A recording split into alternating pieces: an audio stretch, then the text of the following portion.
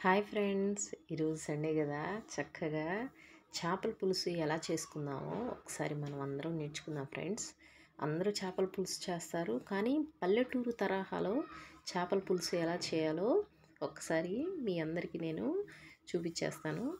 కానీ ఈ చేపల పులుసు తింటే చాలా టేస్టీ టేస్టీగా ఉంటుంది ఫ్రెండ్స్. ఎంత టేస్టీగా ఉంటుందంటే మీరు చేసుకున్న తర్వాత మీరే అంటారు. నేను ఒక కిలో చేపలు తీసుకున్నాను ఫ్రెండ్స్. కిలో చేపలకి మజ్జిగ ఉప్పు వేసేసాను ఆల్రెడీ.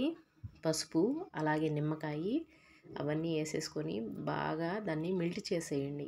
పసుపు నిమ్మకాయ అవన్నీ ముక్కలకి బాగా పట్టేటట్టు మెల్ట్ చేసుకొని వాటిని బాగా వాష్ చేసుకోవాలి ఫ్రెండ్స్.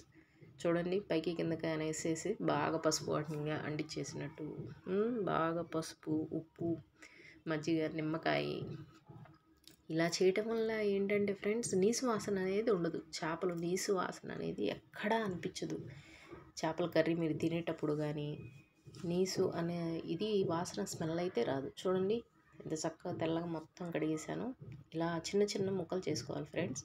మరీ పెద్ద ముక్కలు అయితే వాటికి ఉప్పు కారాలు కొంచెం పట్టడము బాగా లేట్ అవుతుంది. ఉప్పు కారాలు పట్టడం కొంచెం చప్పగా అనిపిస్తుంది.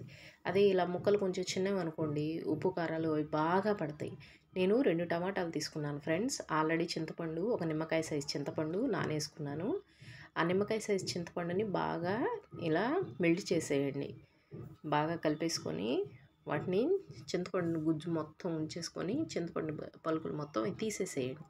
వాటిలోనే ఈ టమాటాలు మనం రెండు టమాటాలు అనుకున్నాం కదా ఆ రెండు టమాటాలని కట్ చేసుకొని అందులో బాగా పిసికేసుకోండి.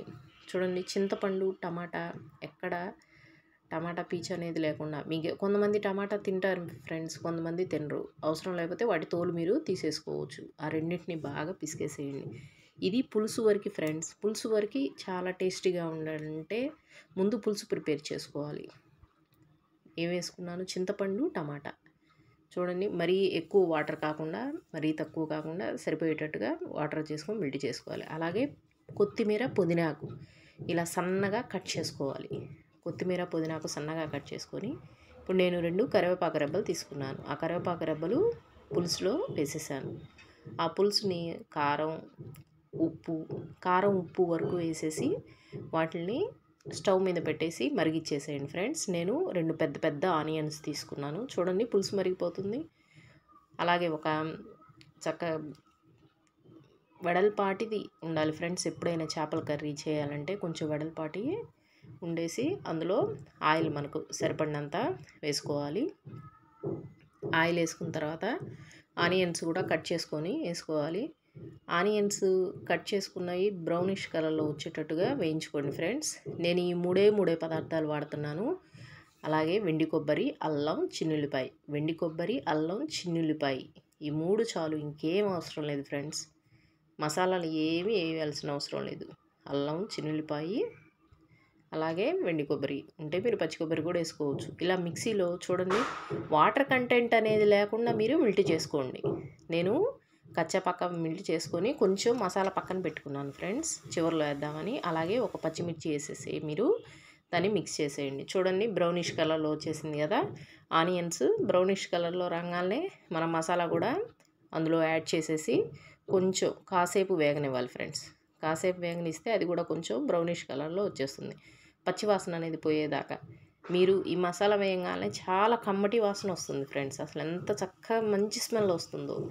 తర్వాత చేప ముక్కలు వేసుకోవాలి. ఆ చేప ముక్కలు కూడా నీట్గా ఎక్కడిదక్కడ సర్దుకునేటట్టుగా పెట్టుకోండి. ఎట పడితే అట పెట్టుకోకుండా చిదురవుతుంది కాబట్టి నీట్గా ఇలా చేప ముక్కలు ఒకదాని పక్కన ఒకటి ఉండేటట్టు. మనం గెరిటే ఇటు పెట్టం ఫ్రెండ్స్. ఏదో ఊర కొంచెం అట్ట కదిలిస్తాం అంతవరకే కానీ మనం చేపల దాంట్లో గెరిట పెట్టాము సో చూడండి నేను ఇలా ఒకదాని తర్వాత ఒకదాని తర్వాత ఎలా పెడుతున్నాను. వాటిలో మళ్ళీ ఉప్పు పసుపు అలాగే కొత్తిమీర పుదీనాకు ఉంది కదా ఆ కొద్ది కొంచెం వేసుకొని మీరు కొంచెం బాగా పైకి కింద కనేస్తే డాకని డేక్స్ అని కొంచెం సరిపోతుంది. దాన్ని ఒక పది నిమిషాల పాటు అలాగే మగ్గనివ్వండి. పది పదిహేను నిమిషాలు మగ్గిస్తే దానికి మసాలా బాగా పడుతుంది. అప్పుడు మనం మరిగించుకున్న ఈ చింతపండు పులుసు ఉంది కదా పులుసు తెచ్చేసి ఇందులో పోసేయండి. నేను ము- ముందే ఎందుకు పోయలేదంటే ఫ్రెండ్స్ చింతపండు పులుసు పచ్చివాసన పోయింది అలా మరిగించడం వల్ల.